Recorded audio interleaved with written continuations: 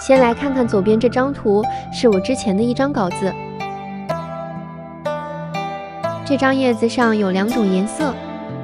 当时我的方法是这样的：先平涂铺满，然后阿尔法锁定图层，再上其他颜色，接着用涂抹工具把两种色糅合在一起。现在我教大家一个方法，可以一次画完两种颜色。把刚才的笔刷复制一个。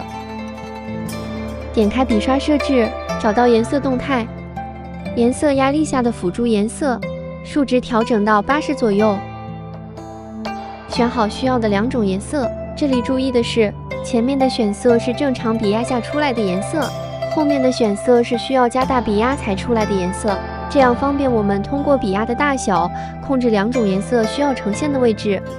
现在我们就来实践一下吧，用的是正常笔压。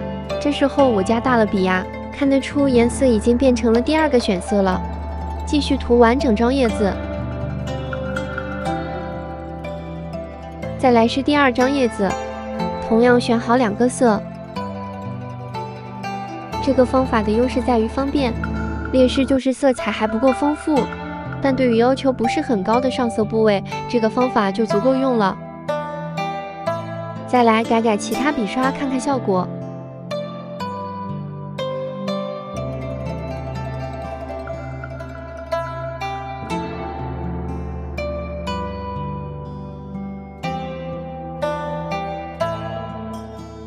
随便画朵花试试，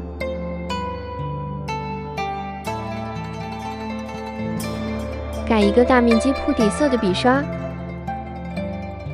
和改之前对比，颜色通透了很多。再拿软件自带的笔刷对比下，